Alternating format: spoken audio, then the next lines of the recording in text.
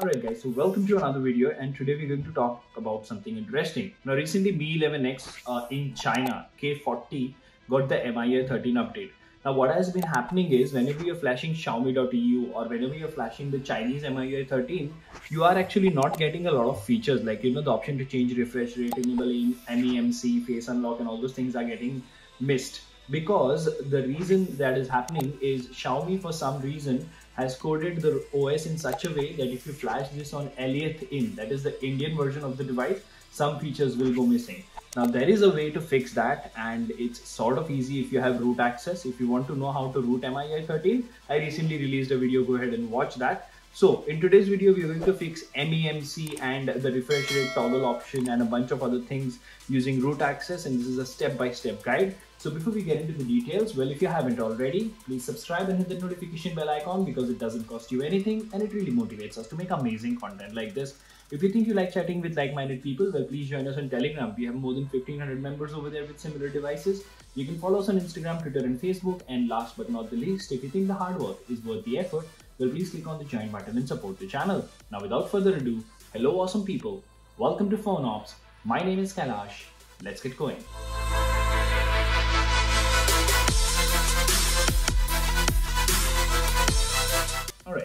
So as I said, you know, you need to be on MIUI 13, which is of course based on Android 12 for the Mi 11X.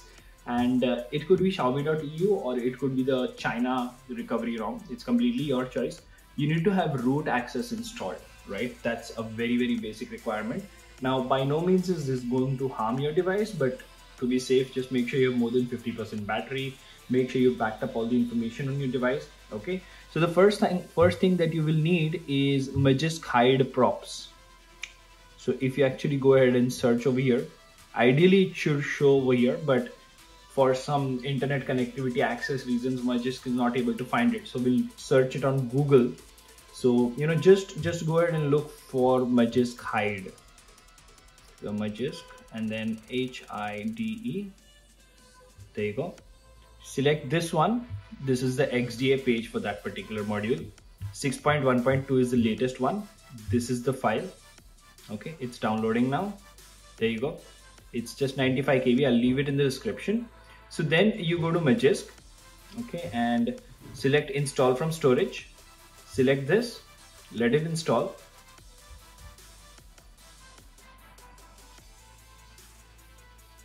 Okay now reboot once this is the only module that we need and then we have to run some commands and we should be good to go. Alright, so the device has rebooted and we have successfully installed Magisk Hide Props config. So go to the Play Store, okay. Let me actually show you things over here before we actually go to the Play Store. If you actually look at the display section, you don't have the refresh rate and MEMC change options. If you go to additional settings, I have not enabled developer options so.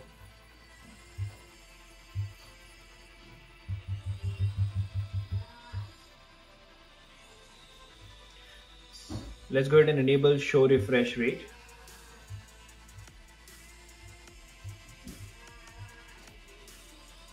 There you go. You can see that the system is locked at 60 fps or 60 hertz right?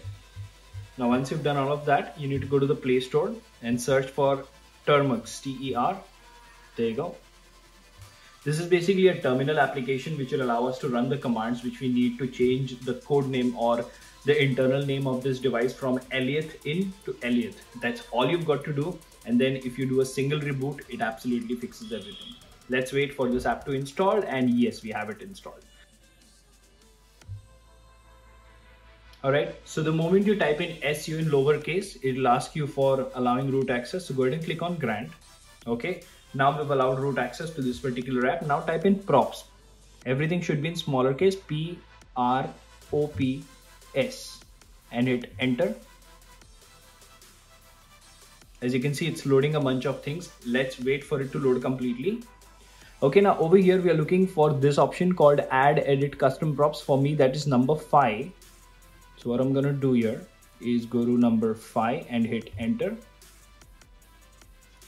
New custom prop, go to main menu. So we'll go, we'll select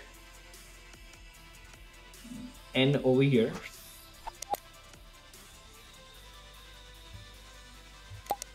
so let's select n and hit enter enter your desired option so over here we are looking for again in lowercase ro dot product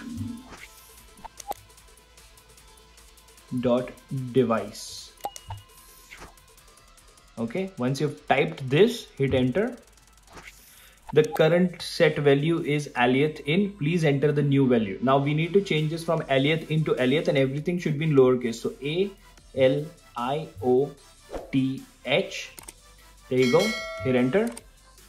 Type in yes. Hit enter. Okay, reboot yes no. Select Y. Hit enter. There you go. Now the phone is rebooted. So we have changed the value of this device from an Indian variant to a Chinese variant and MIUI will think that it is now installed on the Chinese variant and it will give you all the features. Let's wait for the ROM to boot up again. Let's go to settings over here. Let's first go to additional settings, developer options. Let's enable screen refresh rate once again. Show refresh rate. We are still on 60. And now let's go to display. Okay Let's select this to 120. This option is present. AI image engine. All features are present and working. So you have face unlock available as well. At the same time earlier, uh, you know, while it was set to aliothin, I was having issues clicking pictures. Now the camera is working absolutely fine. No crash, nothing. And the multiple, you know, the dynamic refresh rate is working from 60 to 120 as well. So yes, this is a step-by-step -step guide to fix MEMC, face unlock and a bunch of other things in the Mi 11X when you flash the Chinese ROM or the Xiaomi.eu ROM. Let me know in the comment section what you think about this video. Until the next one, this is Kailash signing off at PhoneOps. Keep smiling, take care, goodbye.